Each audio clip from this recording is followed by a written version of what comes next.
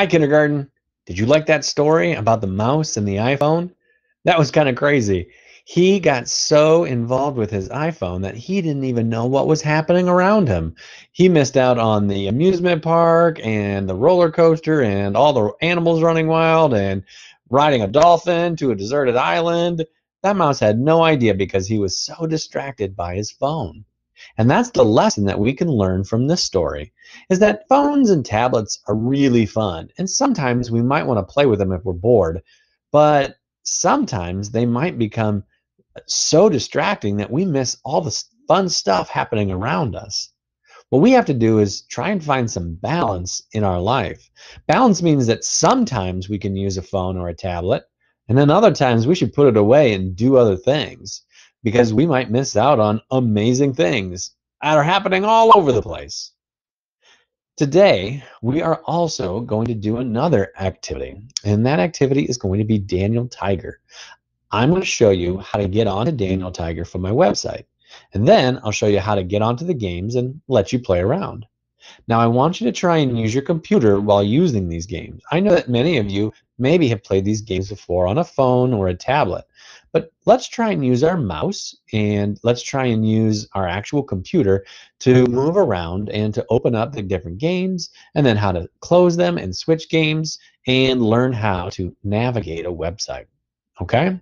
All right, let me show you how to get onto Daniel Tiger.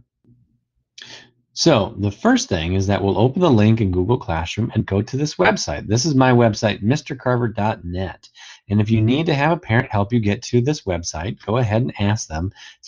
Ask, can you get to my Mr. Carver's website? From here, we're going to find the K and click on the K.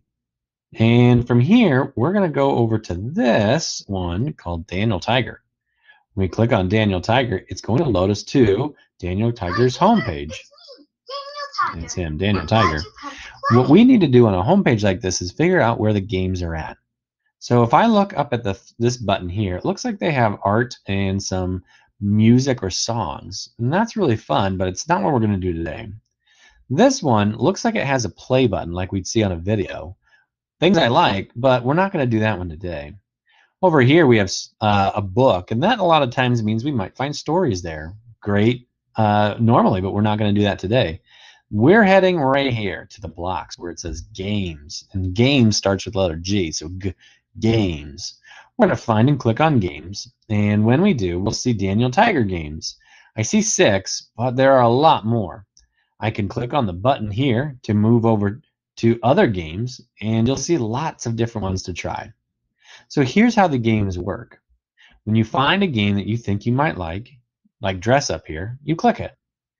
Dress Up, you push play, and you'll get to kind of decorate Daniel Tiger and his friends into lots of different costumes. Uh, I can click on a costume and make him look real or make him look silly. Oh my goodness, he looks silly. And then I can click on other characters and I can make them look real. I like a baker. Or I can make them look silly too. I like that mustache. That mustache is funny. Uh, I'll put that on there. Oh, that's good. Okay, now when you're going to get done with a game, you click the X up here. And by clicking the X, that will take you back to your home page, and then you can choose something else to try. Maybe you want to try one like um, Sandcastle. In Sandcastle here, you actually get to build a sandcastle. Here, when we click the builds, we'll click and drag our different things over here, and that will get them to stack on top of each other, and it looks like we're building a really cool sandcastle. And then we can add other things too. There's no end to the game. You just keep playing until you are all done and then you click the X and you try something else.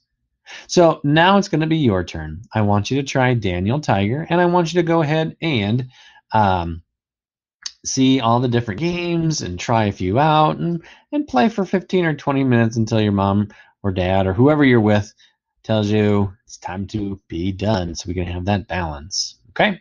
All right. I will see you next time in computer science.